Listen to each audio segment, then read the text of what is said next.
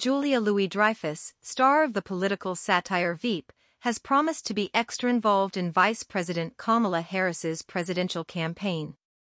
Louis-Dreyfus hinted at a possible appearance at the upcoming Democratic National Convention and has already filmed an ad encouraging Americans overseas to vote. Reflecting on her Veep character, Selina Meyer, she joked that Harris, whom she praised for her intelligence, should not follow Meyer's advice.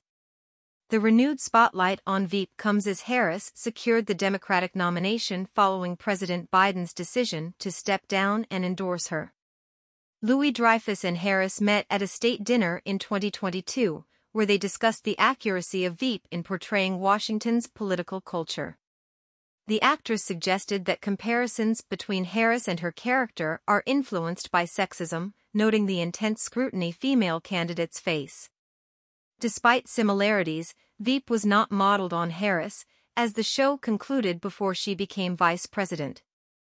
Louis-Dreyfus criticized the real political climate for becoming more vicious, making satire increasingly challenging. As Harris finalizes her VP choice, she is meeting with top contenders and is set to announce her pick soon, with plans to campaign together in Philadelphia. Harris will formally accept the Democratic nomination at the convention in Chicago later this month.